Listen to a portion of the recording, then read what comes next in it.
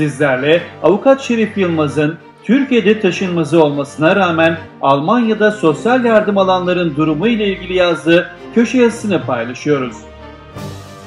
Türkiye'de taşınmazı olmasına rağmen Almanya'da sosyal yardım alanlar Son yıllarda otomatik bilgi paylaşımı ile ilgili uluslararası sözleşmelerin Türkiye'de kanunlaşmasıyla gurbetçilerimiz arasında bir panik havası yaşandı. Aslında Almanya ile Türkiye arasında otomatik bilgi paylaşımı halen yapılmıyor. Çünkü sözleşmenin 6. maddesine göre ülkelerin kendi aralarında bu konuda ikili sözleşme yapmaları gerekiyor. Almanya ile bu sözleşme yapılmadı. Lakin otomatik bilgi paylaşımı yürürlüğe girmese de Almanya'da job center'lardan sosyal yardım almalarına rağmen Türkiye'de taşınmaz maliki olan birçok gurbetçimizin bu taşınmazlar sebebiyle sıkıntı yaşadıkları bir gerçek. Almanya benim Türkiye'deki mal varlığımı nereden bilecek? Alman sosyal güvenlik kanunlarına göre sosyal yardım alacak kişiler Almanya'da ikamet etmek ve dünyanın neresinde olursa olsun varsa mal varlıklarını beyan etmek zorundalar. Gurbetçilerimizden birçoğu bu kurala uymuyor. Aman Almanya benim Türkiye'deki mal varlığımı nereden bilecek? Bir benimkini mi araştıracak diyor. Hukukta her nasılsa diye bir tabir vardır. Yani bir şekilde beklenen şey olduğunda nasıl bir düzenleme yapılacağı belirlenir ve bu öngörüye göre kanuni düzenlemeler yapılır. İşte bu vatandaşlarımız Almanya bir şekilde öğrendiğinde sözünü göz ardı ediyorlar. Bu bir şekilde nasıl olabilir?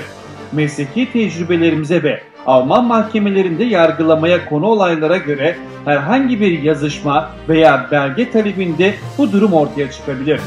Diğer yandan kabul etmek gerekir ki maalesef kıskançlık, haset, nefret, öç alma duygusunu yoğun yaşayan bir milletiz. Hem sosyal yardım aldığımızı hem de Türkiye'de mal varlığımız olduğunu bilen ve bizi sevmeyen biri bu duygularla Alman makamlarına bizi ihbar edebilir.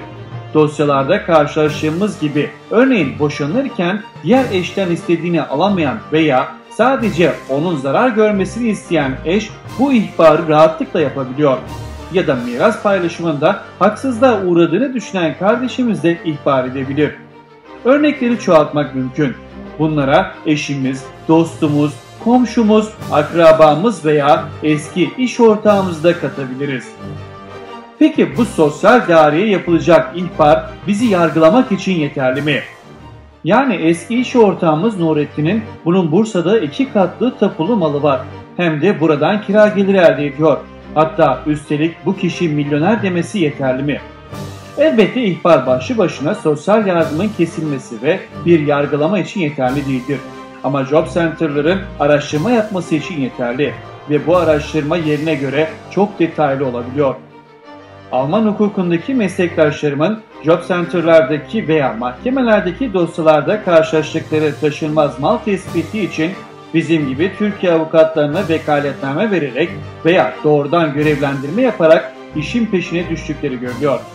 Bu Türkiye avukatı meslektaşlarım ilgili tabu müdürlüğü ile irtibata geçip resmi veya gayri resmi yollarla bilgi edinmeye çalışıyorlar resmi olarak bilgi alamadıklarında örneğin telefonla o taşınmaz hakkında dava açacakmış gibi bilgi elde etme yoluna gidiyorlar. Resmi bir kayıt elde edemezlerse bile taşınmaza gidip komşulardan, muhtardan bilgi alarak yerinde tespit yapıyorlar. Hatta bazı araştırma veya dava dosyalarında taşınmazın fotoğraflarına bile rastlanabiliyor. Peki Türkiye'deki taşınmazı tespit edileni nasıl bir hukuki süreç bekliyor? Elbette ilk olarak Job Center haksız ödemeden dolayı ödediği sosyal yardım paralarını faiziyle birlikte geri talep edecektir. Bu talep için zaman aşımı süresi 3 yıldır. Paranın talebiyle birlikte dosya sosyal dolandırıcılık suçundan soruşturma için savcılığa gönderilecektir. Savcılık soruşturma sonunda yeterli delil elde ettiğinde ise Alman Ceza Kanunu'nun 263'e bir maddesi gereğince kişinin 5 yıla kadar hapis veya para cezası ile cezalandırılması için mahkemeye dava açacaktır.